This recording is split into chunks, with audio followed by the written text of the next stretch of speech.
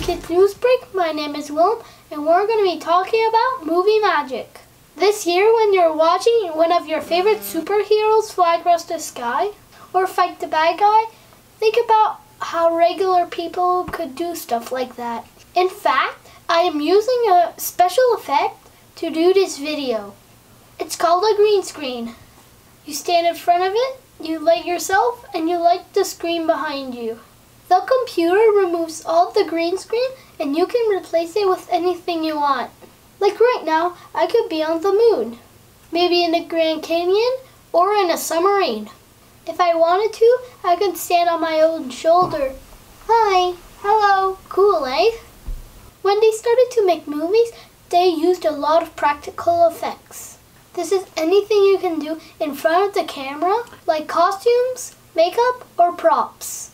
When computers became popular, they used CGI, or computer generated imagery. This would be like if I had a fire in my hand. It's added to the video by computer afterwards. And now Nellie with the weather. It's sunny today. Thank you, Nellie. You can do some amazing things by how you place the camera and how you edit. Let me show you.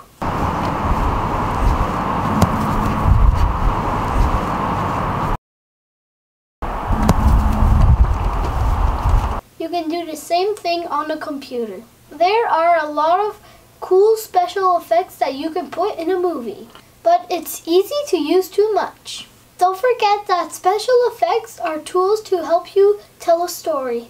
What is your favorite movie? Let me know in the comments down below.